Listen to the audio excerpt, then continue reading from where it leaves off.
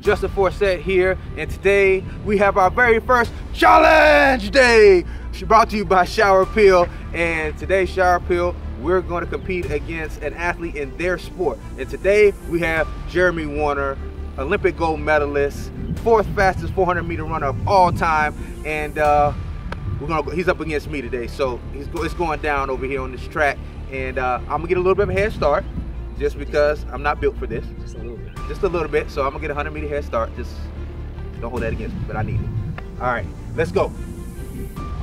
I give him about 200 meters and I catch him.